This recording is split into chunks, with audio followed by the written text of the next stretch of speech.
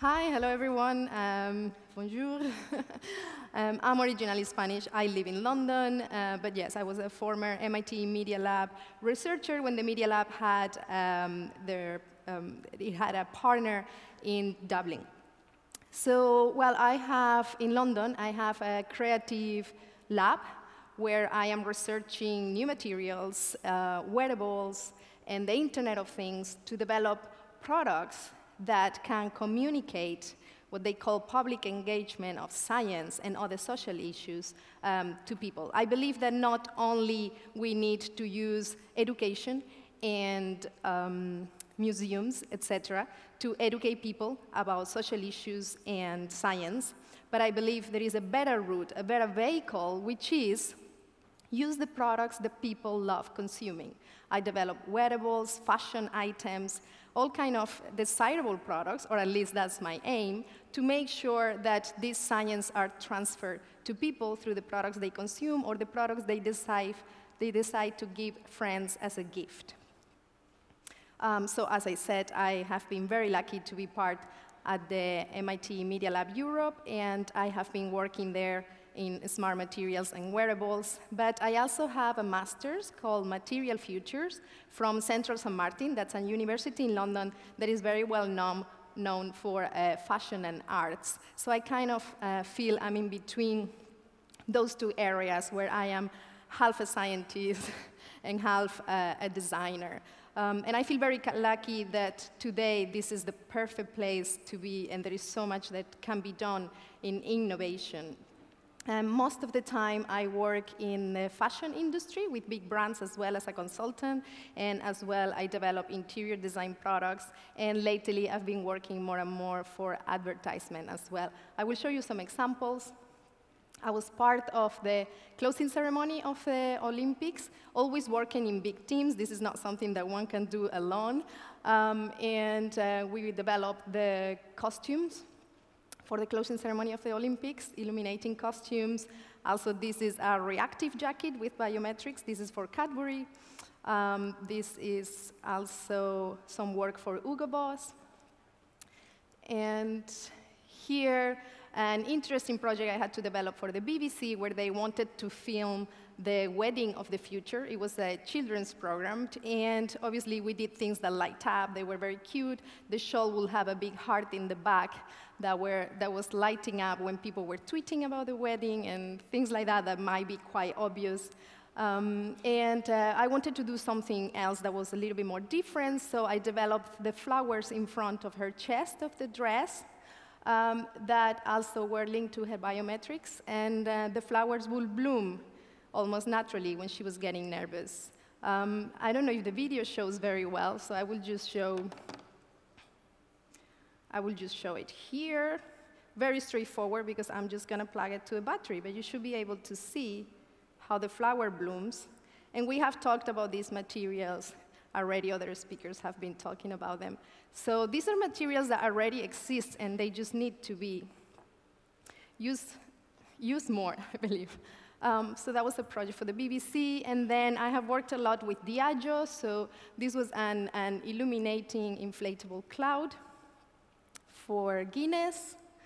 Uh, but now I am working with other parts of Diageo, such as Johnnie Walker and Smirnoff. We are developing um, billboards, textile billboards that cover buildings that glow without electricity. And this is actually just using a glass material that has been previously widely used in reflective materials, reflective technology. So you should be able to see here, this is a 10 meter long billboard. And you can see how it's glowing just with one LED on the other side of the road. And this LED is triggered by people passing by. And you can see the scale here, because this is another one we did for Smirnoff, and you can see me there uh, work, working on the area of the logo. So that one, was, that one was 20 meters to cover an entire building. Uh, I will now move, I'll go back to that. Oops. Um, now that we are talking about sustainability, which I think that is the game changer of putting smart materials into smart products, instead of thinking that everything has to work through electronics and batteries, we can really think differently when we use smart materials. And I was going to ask someone in the public to come here to show them the piece I'm going to talk you about today. If anyone can come up here very quickly, just to tell me what they think this might be. I don't know if anyone can see it. Anyone want to come up? I think we have a microphone here. It's working? I don't know if it's on. I hope it's on. Yeah? Hello? Okay. okay. So I don't know if you want to say what you think this is. Um, we can pass it around as well for anyone necklace to see. with a cute rock. A necklace, okay. Yeah. Is it something you will see yourself wearing or yeah, sure. you could Why give not? us a gift? Okay, there it is. Yeah? Okay, so what do you think it does? I think it glows. You think it glows yeah. in terms of like illuminating, or yeah. you think More it like glows? Why will you think it glows? Do you see any batteries? Do you see any? Um, I don't, but it, I mean, it has a rock on it, so okay. maybe it reacts with something. Okay. Well, feel free to pass it around and okay. people can see it. So, okay, I'm showing here a product that is actually uh, not developed by myself, but it's an example that I'm going to examine when we're talking about sustainability. This is a jewelry device, what you see here that makes you aware of sun exposure. So this device is going to analyze the UV rays on the atmosphere, on the air, and it's going to make you aware of it. Now, the problem I see with this is a variety of problems. Is the price. It's an expensive piece. It is the way it's produced, and it's also the way you're going to get it discarded. It runs with batteries, obviously, and it also requires a Bluetooth device to connect to your phone, which means in order for you to know if you need to be aware, if, if you need to protect yourself from sun exposure, you need to be interrupted. I, find this um, part of technology quite intrusive, where you actually have to remember to check your phone so that your phone actually tells you the reading of the device, and then the reading might not even be something that you totally understand or you totally feel familiar with. Um, so for this project, which is I wanted to develop something that makes you aware of UV exposure, but that it was um, in a way more familiar to us, I was inspired by biomimicry, and I thought there is many ways in that materials, even our own skin, responds um, to sun exposure. So I looked into a chemical that it's already out there, it's widely used, and you have seen it in sunglasses that change color um, when you go in the sun. And I just wanted to, to do some more research on this. And I looked into in which ways this chemical has been used before. And it's usually linked to plastics and sometimes to some glass. But nothing has been done that is truly uh, desirable or luxurious. It's mainly pieces that are very, very functional. And I thought it would be just so beautiful, perhaps, it, uh, if I could use this material to um, make it look like something that came out of nature, that maybe looked like a crystal. And that's what I said to myself to do, and I developed these crystals that react to UV rays. I have some other larger ones here as well. Happy to pass those around as well. Um, so the strength of the color, the depth of the color, and the speed of change is what's going to make you aware of how strong the UV rays are in that moment. And the reason you don't need much more data is very simple. Is because no matter how much someone might tell you if you need sun protection or not, in the end, it all depends on your own genetics, on your own type of skin. If you have put cream that morning, it depends in so many things that I just wanted to create a piece that was beautifully making you aware of something that is otherwise transparent to your own eyes. There it is, and in a way, it's kind of telling you to enjoy the sun, because when it changes color, it's, it's quite a beautiful experience. Enjoy the sun, but just in a wise way.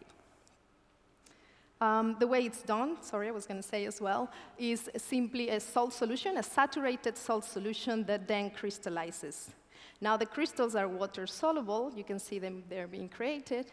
Um, and then they are um, coated with a biodegradable coating. There they are.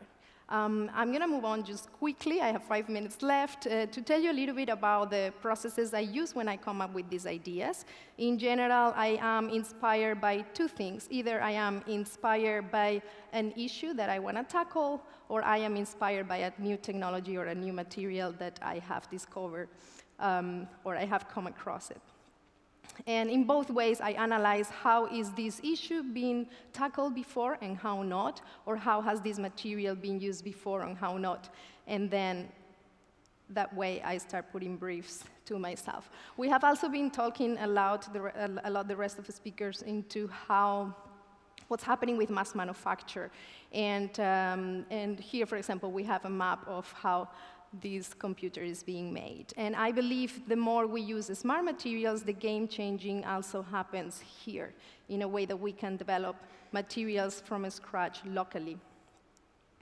So not only we need to orchestrate this incredible use of human and material resources all around the world, they travel all around the world, then they get to your door, and unfortunately, most of the things that we design end up here. And many people will uh, blame this into the consumers. But I actually believe that it's us as designers who have this responsibility to make sure that the products are not forgotten by ensuring that it is us who have not forgotten to create meaning. So I make sure in my, in my creative lab in London that everything we create has some kind of um, social purpose in the background. Um, the last part of my method is also very straightforward. I believe that what we need to do with technologies is not only to innovate in our means, this is for me quite obvious already. By the means, I mean materials, tools, and skills. Here is a very simple example. So you will need these materials, these tools, and this skill to create this product. The more you can innovate in those three areas, the more you can innovate in the final product.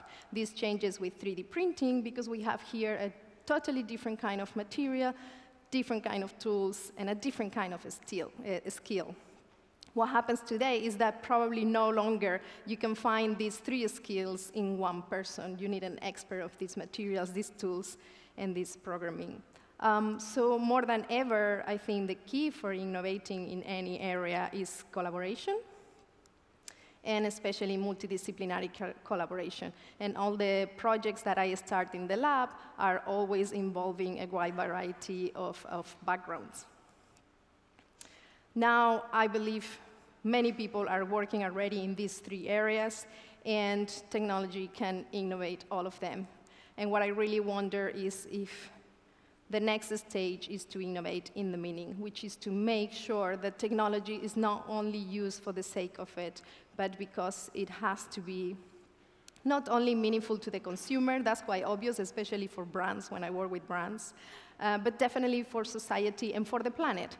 And the interesting part today is that being, being meaningful to society and to the planet also means being meaningful to the consumer, so it's a win-win. Um, this kind of um, approach has allowed me to, me to win many, many awards since the beginning of my career, uh, being last year in the UK one of uh, top three um, women in tech, innovator woman in tech. Um, so now I have a, a leading role in um, helping other women feeling confident about working in a technology environment um, I will finish a little bit with the, my role when I work with advertisement for brands. And I make sure uh, this concept of ensuring you have innovative means and innovative meaning um, filters through what I call the prosumer journey.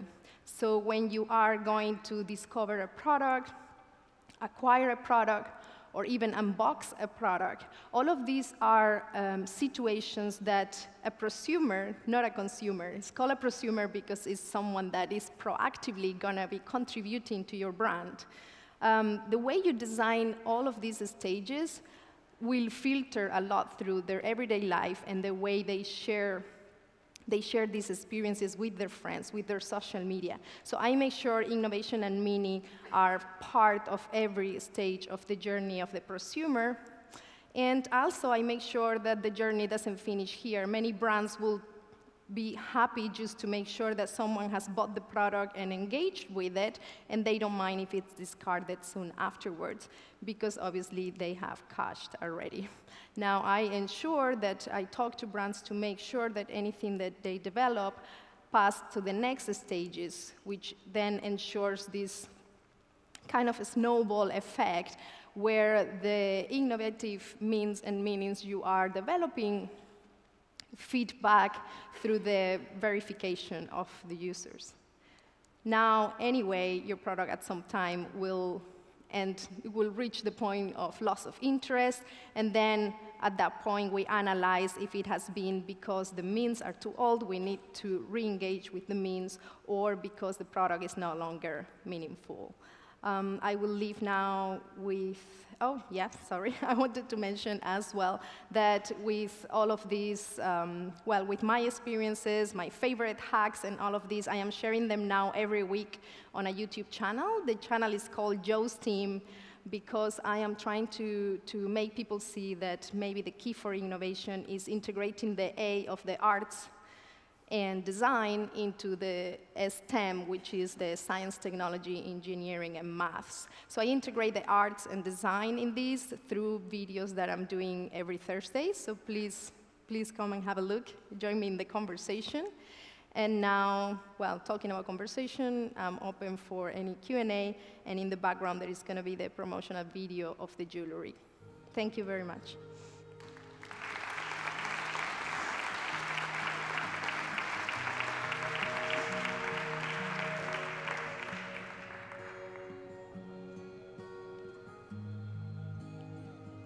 I don't know how. Are you going to help me here? If there is any questions from, I think later there is going to be a panel about how to start your business and all of this. So I have gone from being a researcher to then stepping into bringing some products into the market, uh, continuing my research independently when I detached from the MIT Media Lab. Um, and now I also work with brands, um, helping them generate products that are more sustainable and generating advertising campaigns that are more engaging. If there is any question in any of those areas, just let me know. Yeah, you're going to take on? I'm going to take the opportunity. French people are so shy. I didn't know. so first really? of all, first of all, congratulations on your Thank work. You. It's, a, it's really amazing. I, I really get surprised by nowadays companies like this would take tens of people, hundreds of people. How can you manage to do this all, all on your own? Well, um, it's, well, in each individual project happens with, um, with a specific freelancers. Uh, it happens a lot that people that really want to do forward-thinking things uh, don't easily fit in a full-time job. So I, have, I actually find many, many people that are super interesting. They're doing their own thing, and they happily join projects here and there because they don't have like a full-time job. And that's the kind of people I work with. Okay, let, let me take that idea because we're going to have a later, later a conversation with Elena and I want to talk about flexible teams, how the corporations yeah. of the future are going to look like. People working in large organizations, you're going to have to get used to teams where full-time employee, part-time employee, uh, contractor don't no longer are separate things, but are yeah. all mixed together. And I'm going to use this uh, opportunity that I'm here with Elena to also say that we are reaching the end of this uh, first section. Mm -hmm. We're going to take a break until 1150. There's some food outside, and there's time for you guys to talk and meet each other because there's a lot of interesting people in the audience. So see you in a few minutes. Okay.